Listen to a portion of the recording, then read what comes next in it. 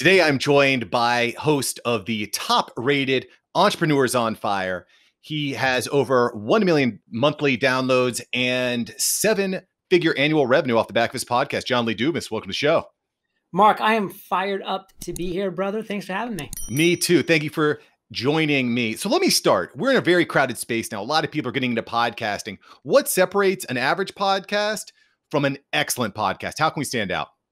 First off, an average podcast may as well be a horrible podcast because if you're average these days, like you're not going to generate an audience. You're not going to create a podcast that is meaningful just because it is a saturated marketplace. But if you want to make your dent in the world, to have an impact, to share that voice and that message and that mission with the world, you've got to create a podcast that solves a specific problem, that provides a real solution to an actual struggle.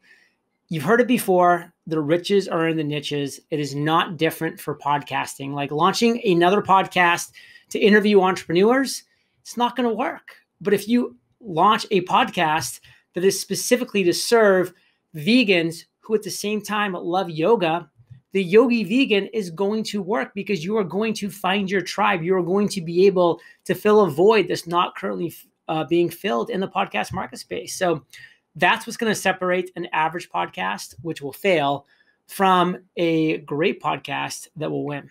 I love that. Niching down, getting to know your customer, getting to know your client, getting to know the people that really love what you do. So let me kind of dive into that a little bit, John. How do we convert just an average listener, maybe it's the first time on the show, into a super fan, into part of the Fire Nation or part of something that, that really is meaningful for their life?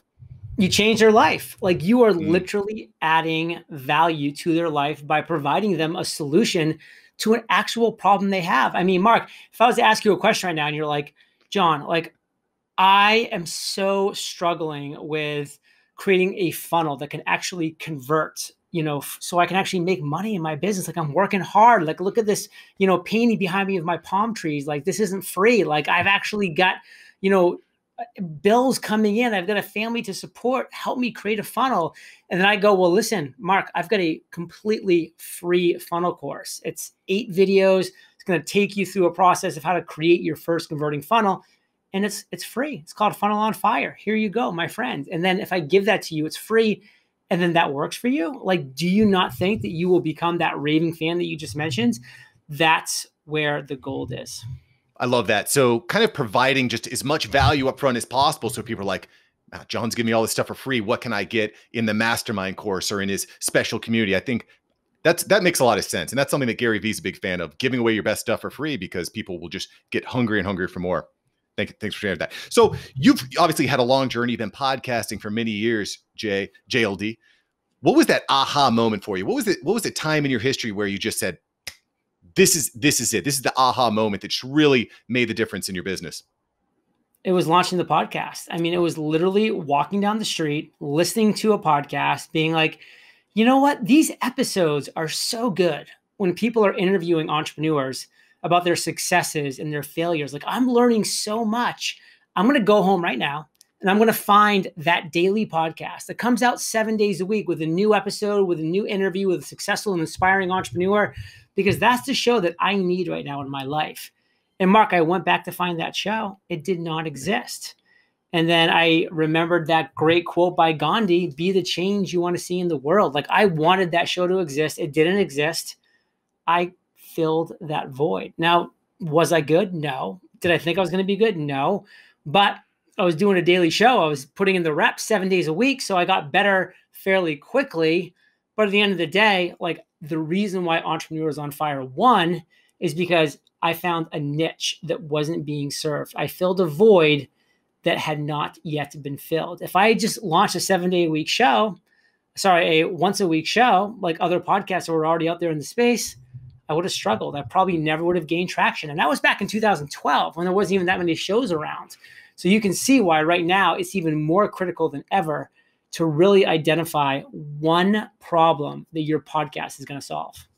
That makes that makes a lot of sense, and it's, it's certainly very difficult to do. I think it's really easy to get caught up in that. Well, someone's already done it. Someone's it's already been done. But I think that it's, it's just really important that you, you dig in, right? You dig in, you start finding and, and listening to the people in your community, which which honestly is a little bit of a challenge, I think, in podcasting, right? Because you you post a podcast and most of the platforms don't give you a lot of feedback back, right? It's not like on YouTube where you post a video and then there's a, a ton of comments.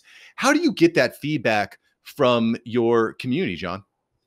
Engagement is not easy in the podcasting world. It takes time to build an audience to a size where you actually are getting feedback, where you actually are getting comments. It's yeah. tough.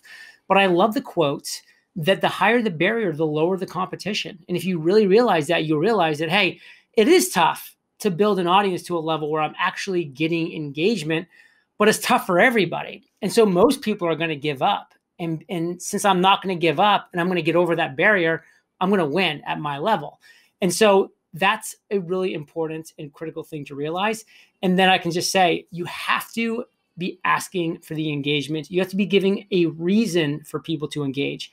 Like a huge, you know, piece of advice that I give people because it's a huge mistake a lot of podcasters make is they say something along the lines of, "All right, if you get a chance, go back to my um, uh, website because I have a newsletter. You can sign up for my newsletter. Blah blah blah." Like, who's going to sign up for a newsletter just for the sake of a newsletter? Like, yeah. who needs more emails in their inbox? Like, nobody's raising their hand right now. What people need are solutions to their problems. So your call to action at the end of your show should be a incredibly valuable and specific call to action that's going to be solving a real problem. Like for instance, one of my calls to action, and I have eight that I rotate on my show, is hey, listen, I've done over 2,600 interviews. I know that most entrepreneurs struggle accomplishing goals. So I created a completely free goals course for you, freegoalscourse.co. Go check it out. I will teach you how to set and accomplish a goal with this free course. Go check it out, freegoalscourse.co. So I'm giving them an actual reason to go to sign up for this course. And guess what? Now they're in my e- now now they're on my email list. They're part of my subscribers. They're getting more value, more content from me, and I'm able to ask them questions in my email sequence like what is your biggest struggle right now? So in that way, now I'm engaging with them because I'm asking them a direct question. They're giving me a direct answer on their struggles, and I'm able to really start the engagement in that way. But with just these kind of vague, broad, and not very specific calls to action, people are really struggling. Yeah, and I think one of the smart things you can you can do with that if you're so let's say like you said you've got eight different calls to action for your various shows. If someone's like, "Okay, this is the call to action. I'm going to sign up for that list." Well, now you have a more specific you, you can understand more specifically what their need is, right? So now you can cater your emails and your targeting and your messaging because you understand what their interest is right? You can understand what their problem that they need solved is, right? So somebody that gets on that email list is going to be getting emails specific to goals. Somebody that gets yeah. on my free podcast course list is going to be getting emails specific to podcasting. Like you have to customize and segment things out to speak to that individual's specific struggles. Like that's the core, that's the key. And you can do it with the tools we have these days. It just takes a little forethought, a little effort. Once the systems are in place, they're in place. So let's let's lean into that a little bit more, John you systems, right? Because obviously